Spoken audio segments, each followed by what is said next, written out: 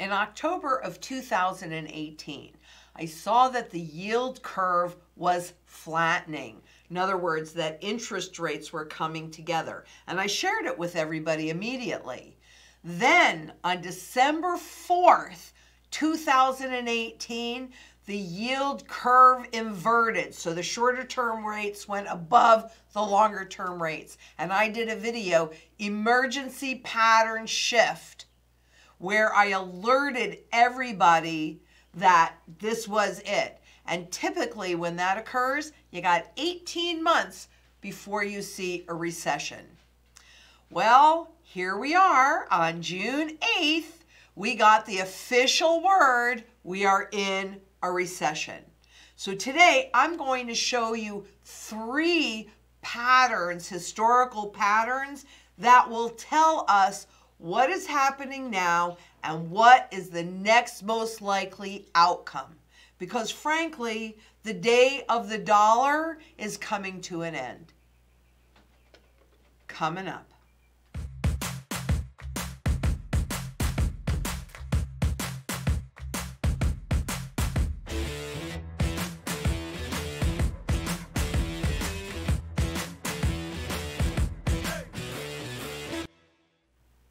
I'm Lynette Zhang, Chief Market Analyst at ITM Trading, a full service physical gold and silver dealer specializing in custom strategies to help you survive and thrive. The reset that I hope you all recognize we are already walking through. And today is a very important video maybe one of the most important that we've done in quite a while because we are now in official recession. And as I said, that was called back in December, on December 4th of 2018. And here we are, June 4, June 8th of 2020. Hmm, that's pretty darn close to that 18 month window. And it is absolutely official history is repeating itself. They said it was different this time, that this wasn't going to tell about a recession. But even before the coronavirus, we were already entering a global recession.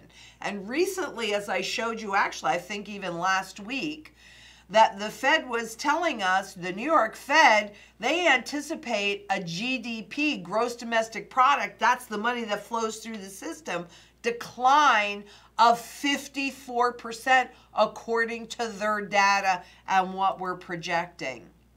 But I got to read this to you. Despite the speed and severity of the shock, and I think we'll all agree it was a big shock, it is suggested that the rebound could be very swift because it looks like we're out of the woods because of the tremendous speed and quantity of both fiscal and monetary stimulus.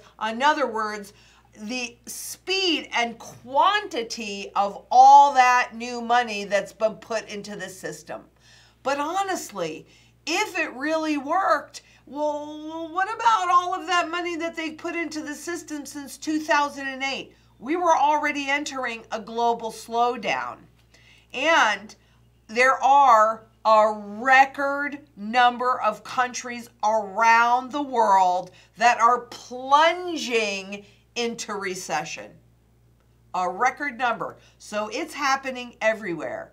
And yet, the US markets rallied. In fact, NASDAQ made a new all-time high. Whoop-de-doo. Happy days are here again. Why? Why did that happen? Well, as they were talking about the speed and the quantity, when you look at what happened in 2008 and you look at where we are now, mm, kind of says it all. Because once central banks create new money, that new money must go someplace. But they also need it to be really cheap because what central banks do is lend.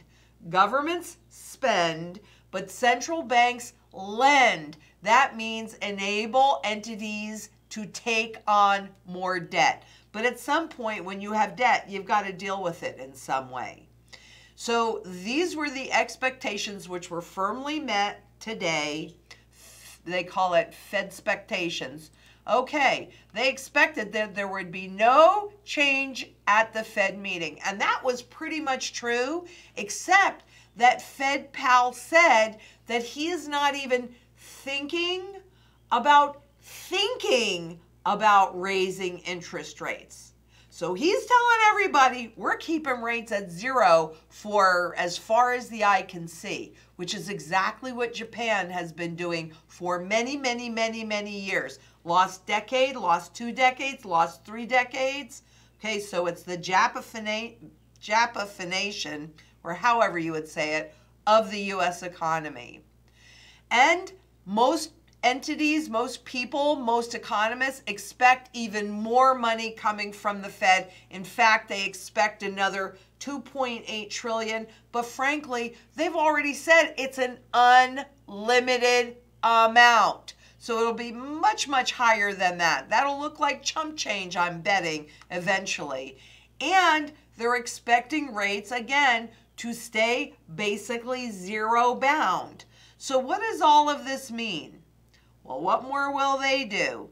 Database forward guidance. Well, he didn't even say database forward guidance. He said he's not even thinking about thinking about raising rates. So he's telling Wall Street what they are going to do. So Wall Street, okay, if you're going to give me unlimited money, I am going to go ahead and I'm going to borrow it and I'm going to trade in these markets. I'm going to push these markets up because you're telling me I'm going to transfer wealth my way just in this way. You can have all the money that you want. That's what they're really saying. And we're going to make sure it is super duper cheap. But it gets to a point, and they lament the fact that they can't hit their 2% inflation target. And they lament that. So, hey, we can do a whole lot more of cheap or even free money. Why can't they hit their 2% target? Because at some point when you have debt, you still have to service that debt. And if all or most of your income goes to paying interest, it's going to have a weight on the economy. And remember, I don't have this graph in here, but I use it all the time on the monetary velocity. We hit peak monetary velocity in 1997. And that means that that was the last time that taking on more debt was actually economically stimulating. And I gotta say, these guys know this better than I do, but think about it for yourself. If you just keep getting credit card after credit card after credit card and you're paying the minimum, that means that you're now compounding interest and you're not even touching the principal. You ever getting out of debt? Heck no. But if you know you're going to declare bankruptcy and they send you more credit cards, what are you most likely to do? Spend it. So let's talk a little bit about the stock market and why it's been on such a tear upwards.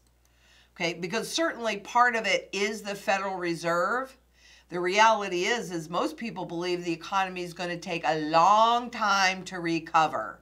But that doesn't seem to matter. Additionally, 79% of those uh, interviewed or, or polled think that relative to earnings and GP and GDP forecasts, stocks are overvalued. I'm sorry, but that should be 300%. Do you know how much stocks are going to earn this year?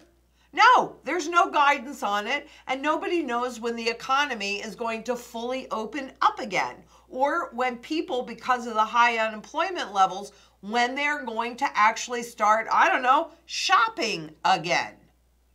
And with such high employment numbers, you know, or unemployment numbers, I should say, they're going to have to do something. That's why I really think that we're going to have some form of universal basic income, UBI, a lot of people call it, by the end of this year. I'm, you know, I could be wrong. That's not something within my control, but it makes a whole lot of sense.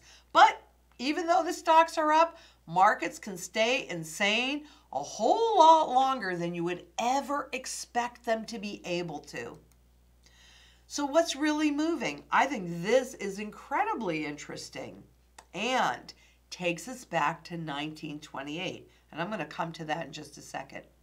Because investors are flocking to bankrupt stocks. They're calling it a dash for trash.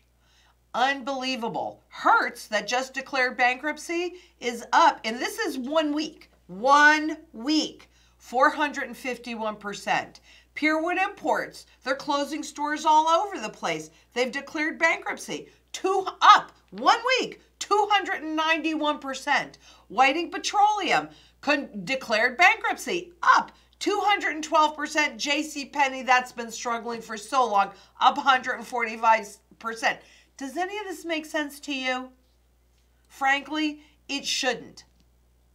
Though again, markets can stay insane a whole lot longer than you would think. Now, a lot of this is certainly due to the flood. It's more than that. The tsunami of new money injected and continuing to be injected by the global central banks led by the Federal Reserve. No doubt about that. But aside from that, who's driving these markets higher? I mean, are they really investors? Heck no. They're speculators. But it's not the typical trader. Yeah, the traders are definitely taking advantage of this. And I love this headline because, frankly, I could not agree with it more. It's a perfect storm of stupid in the stock market right now. Great headline. Now, let me show you why it's a perfect storm of stupid. For one thing, what are we seeing? Eh, eh, you know, there's been that extra bump in unemployment, weekly unemployment. So a lot of people, 70%, I believe the studies say, are making more on unemployment than they did when they were working. So they kind of have some extra money. Plus that $1,200 uh, check that was sent out to a lot of people. They're home. The businesses were closed. They're starting to reopen now. We'll talk more about that. But close to 800 people have created new brokerage accounts in the top three uh, online brokerages in the country, in the US. Because what, what did they do? Do you remember we talked about this? They took the fees to trade down to zero. The other thing that they've done is allowed fractional trading. Now, all right, let me explain fractional trading to you. Because, you know, if you have like a mutual fund or a stock, and let's say you're reinvesting the dividends, and so instead of buying a whole share, maybe it'll buy a tenth of a share or a half a share or whatever it'll buy. That's fractional. Just like you can buy a full ounce of gold, but if you buy less than an ounce of gold, that's fractional. Makes it easier for people that don't have a lot of money to buy because now they don't have to spend, say, you know, what Warren Buffett's uh, shares or something like 300,000. I don't really know what they are. I haven't looked it up, but I think it's something like that. So if you want to own that, well, now instead of having to come up with 300 grand for one share, you can put any amount in there and buy a fraction of that share. But keep in mind that other, I disagree with this statement a little bit. There is no model that can predict what's about to happen in the economy or the market, but I can take you back to 1928 because in 1928, that was the first time that the naive public started piling into the stock market. I mean, after all, they saw it going up, up, up. There was a flood as they were transitioning us into a consumer driven economy. There was a flood of cheap credit, and the normal person wanted to emulate. They wanted to participate in the rising stock market. However, what was also happening during that period of time was that Wall Street insiders that understood what was happening, they were selling into the naive, unsuspecting public. Well, just this week, here we go, the market handed billions to two companies that made headlines without showing any real data. And we talked about this last week. Moderna being one because they had eight patients in their study that showed some benefit. Eight patient, eight, eight, right? And what did the executives over there do? Wow, they took advantage of it. Of course they did. Moderna executives have cashed out 89 million in shares this year as the stock price has soared on vaccine hopes.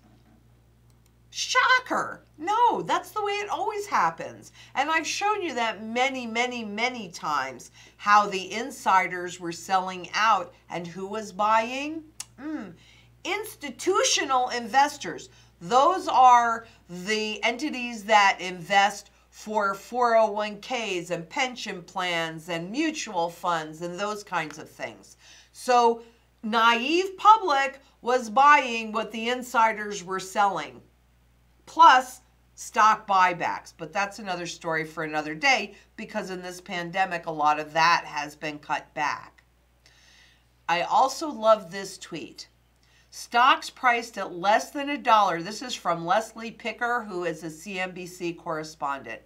Stocks priced at less than $1 in the Russell 2000, so there are 29 stocks, are up 79% on average over the last five trading days. You know why I never traded penny stocks? Because you couldn't tell what was going on and it was a churn and burn. And this too will be a churn and burn. In other words, it's the greater fool theory, expecting somebody even more stupid to be willing to pay more for these stocks. And these guys, you know, think that, wow, I'm really smart. Look at this. I'm buying it and the stock is going up and it works until it doesn't. So we talked about the three largest firms, but also at Fidelity, they've opened 1.2 million in new accounts. That's a lot. So you're really looking at 2 million recent new accounts and going into the fractional trading frenzy. So like the cheap money, a lot of this money is coming from that 1200 bucks, the, the extra 600 bucks, cheap money, and they'll probably give us more. But what I found really interesting about this is that 52% of the members' first trades on the platform are fractional. That tells you it's the little guy. It's the guy that really doesn't know what they're doing. Are they bothering to do all of this research and determine is this a long term trade? No, no, no. Is this a long term hold, I should say? No, no, no. This is a short term trade for them. They're playing. A lot of what's happened is these programs have been gamified. So the millennials that have grown up with gaming and now you make the trade free and you give them extra money, this is actually not such a big surprise. But it is a typical pattern before a major market crash. And I'm going to tell you, I don't know how long they can keep this going, perhaps longer than I think possible, but there will be a major market crash. And I hope you're out before that actually happens because that would not be a good thing. In fact, 40% of all trades are made in dollar amount. Okay, I'm going to throw 5 bucks at it or 20 bucks at it or 100 bucks at it. Buy 10 shares. Or not 10 shares, buy 10 different stocks and you're going to throw 10 bucks at it. I'm sorry.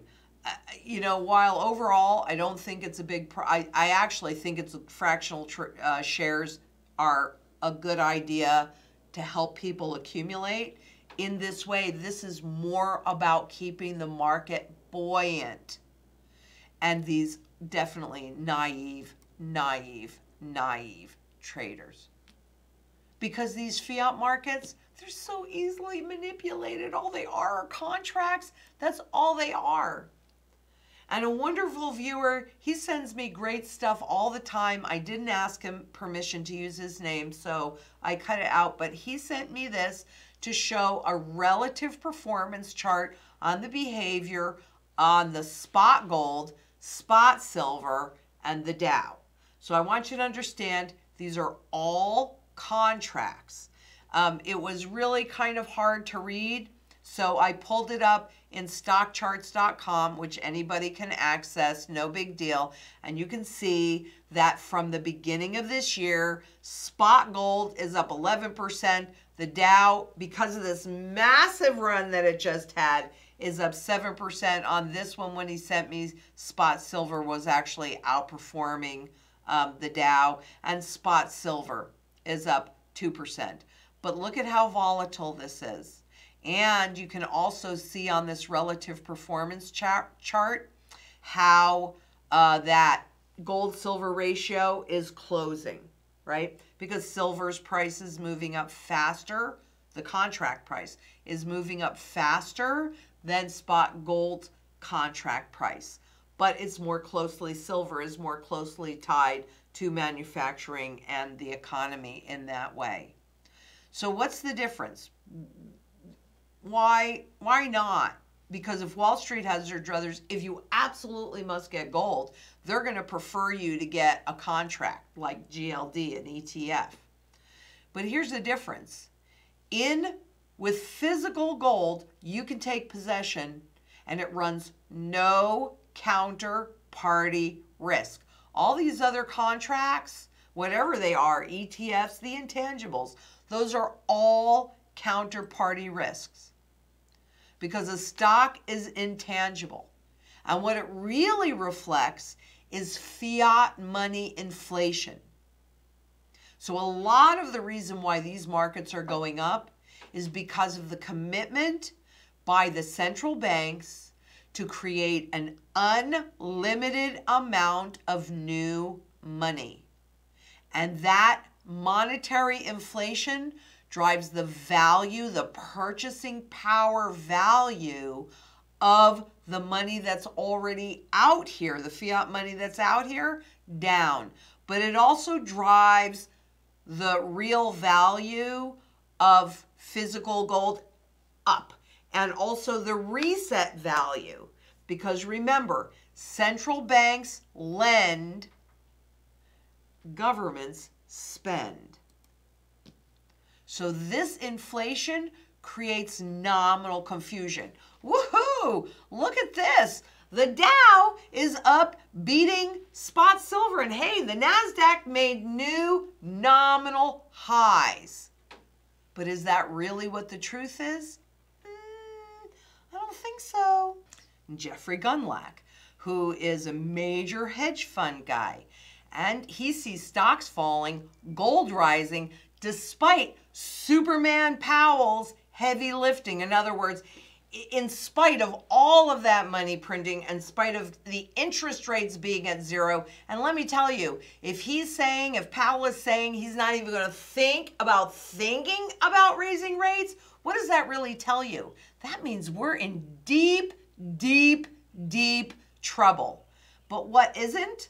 Okay, well, here you go. He, Jeffrey, made a comparison, and I encourage everybody to go in and watch his slide presentation, listen to it. The links are on our blog. He compared the S&P 500 price in gold to its nominal value. So here we see the nominal value of the S&P going up because of all that money inflation. But in terms of the spot price, it's actually gone down. And actually, when you're looking at the spot price, I mean, what?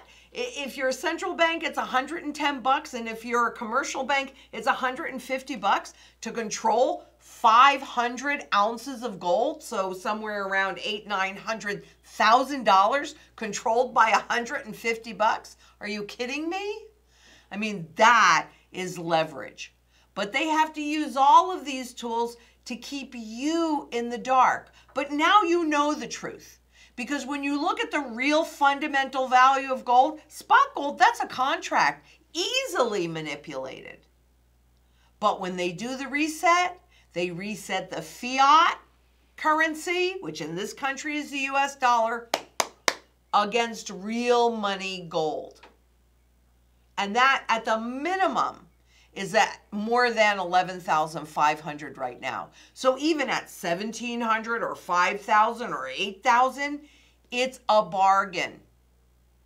And by the way, it is the only undervalued asset that is in a long-term positive trend because the reality is is the dollar is in a long-term negative trend. And that's what stocks are valued in. So that is another pattern that we're looking at here. History is likely to repeat itself. This time is not different. Please use this opportunity to get yourself protected.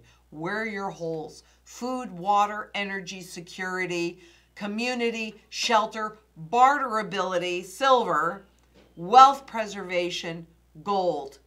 Get it done while you can. Now, I just did an interview with Tony and he had some technical difficulties, but you can hear the whole interview anyway, even if you're not able to see everything. And then uh, next, is it next week with Gerald? I have my good friend Gerald Celente, and I'm sure with what's going on and the reopening, and he's in New York, etc., that should be quite an interesting discussion. It always is. I always love having those with Gerald. And then on, on Thursday, I'm with DJ Randy on Standing on the Edge, which is BFAM 109.6 on, and that again is on Thursday. You'll find all of the links to these. Follow those links. Go to our blog at itmtrading.com forward slash blog. Of course, this is posted on Brighteon and Facebook and in our blog as well. But if you're really concerned, and you should be, I mean, if you're not, I, I don't know, you must be sleepwalking. But we are here to be of service. You can click that Calendly link below, make an appointment to talk to one of our consultants who's also a strategy specialist and if the time you want isn't available, we love human contact. 888 696 4653. And keep in mind, it is absolutely, positively, without a doubt, time to cover your assets. And you do that with the Wealth Shield, which is part of our strategy. It is a 12 piece program to help you survive and thrive the reset that we've already entered into. It's not something that I'm waiting for because financial shields are made of physical gold and silver, not paper contracts, that's for sure. So if you like this, please give us a thumbs up. Make sure you share this one. Share, share, share. Subscribe, hit that bell. We'll let you know when we're going live. And until tomorrow, please, seriously, things are shifting quickly. Please be safe out there. Bye bye.